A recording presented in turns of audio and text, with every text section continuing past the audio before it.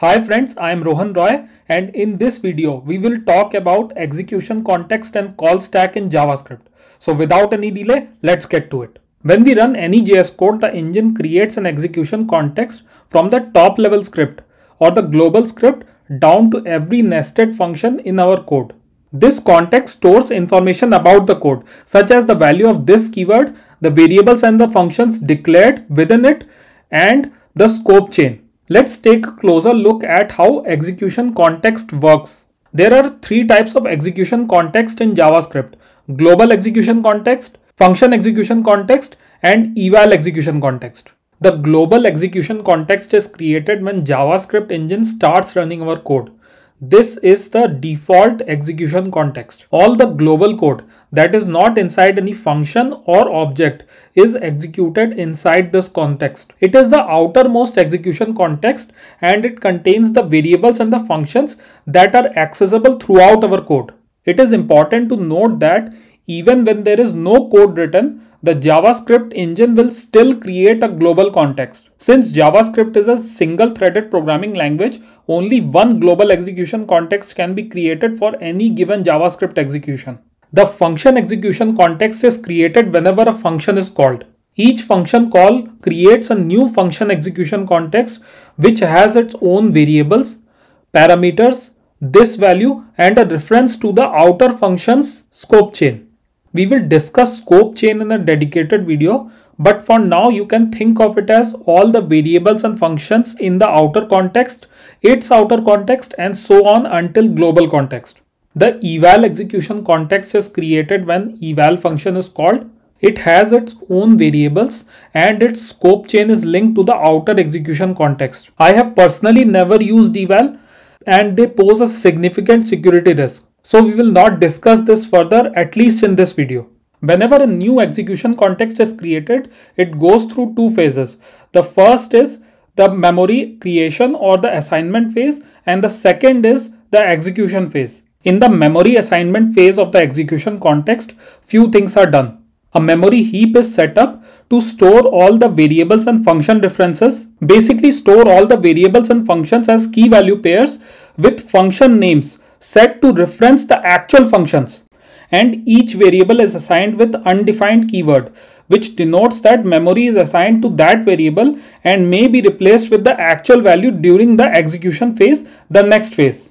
Within each execution context, including the global one, there exists two basic objects. The first object is the global object and it contains all the variables and the functions that are accessible anywhere within the current environment. The name of the global object in web browser is window, whereas in Node.js it is global. The second object is the this object. It refers to the object of the current context where the code is being executed.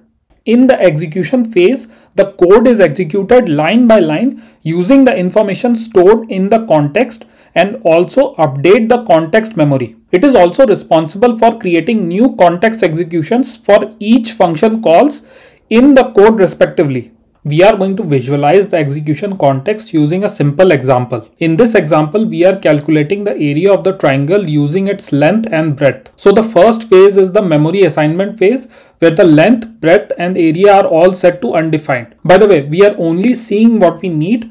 There is also window and this but ignore them. In the execution phase, each line of code will be executed one after the other and as you can see after each assignment, the memory is updated. After the code execution is complete, the execution context is removed and the memory is cleared.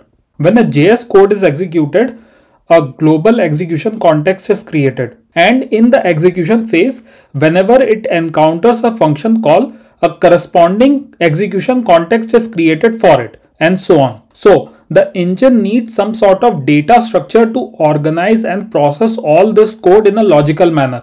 This is where call stack comes into the picture. A call stack is a data structure used by JavaScript to manage execution contexts and function calls. It keeps track of the order in which functions are called and in which context they are called. When a function is called, it is added to the top of the stack.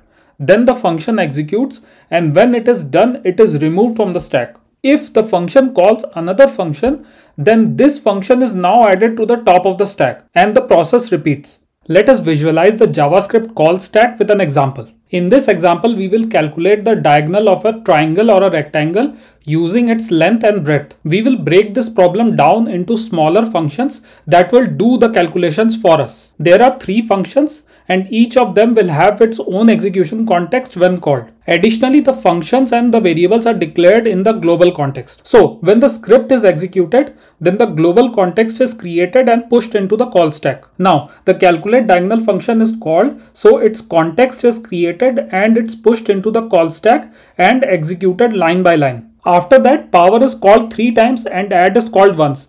Each time context is created, pushed into the stack, executed and then popped out of the stack. Calculate diagonal finishes its execution, returns the result and is then popped out of the stack. And when the script execution is complete, the call stack is cleared and the memory is released. This is the rough approximation of how call stack operates for JS. I want you to smash that like button if you are enjoying the video so far. The execution context and call stack work together to run our JS code. The call stack is also known as the execution stack and it keeps track of the order in which the function calls are made. When a function is called, its execution context is added to the top of the call stack. And when the function returns, its execution context is removed from the top of the stack. In this example, we calculate the area of a triangle using its sides. For that, we need six functions, subtract, multiply, divide, sqrt, calculate perimeter, calculate area, and a variable area all declared in the global context. So the global context is created, memory is assigned, area is set to undefined and the functions are set with their respective references. Now calculate area is called so a context is created for it and it's pushed to the top of the stack. In the memory creation phase, the parameters a, b and c have values set to it. The variables s, sa, sb, sc, area squared and area are all set to undefined.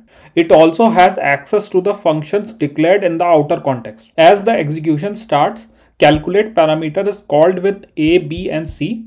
Its context is created, memory is assigned, all three are added, the result is returned and the context is popped out of the stack. Divide is called using this result, the context is created, the memory is assigned, the division is calculated, the result is returned and the divide context is removed from the stack. The result is assigned to S and the calculate area context memory is updated. After that subtract is called with S and A, context is created, memory is assigned, calculation happens, the result is returned and the context is removed from the stack. The result is assigned to SA and the context memory is updated again. This happens two more times for SB and SC. Then multiply is called with S and SA context is created for it, memory is assigned, calculation happens, result is returned, and then the context is removed from the stack. The result is used with SB to call multiply. The process repeats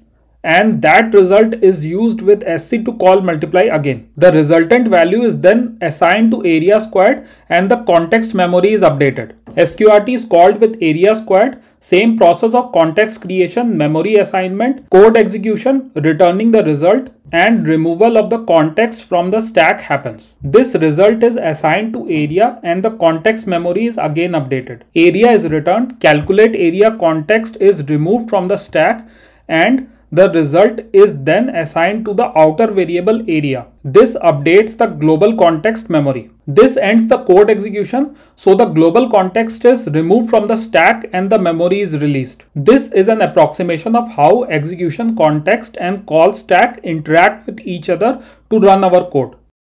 Let us see execution context and call stack in action. Open your browser, right click, click on inspect and go to the sources tab. You may find your script file in page or in file system, but we have it in the snippets. I will click on this file, put a debug point on line number one and right click and click on run.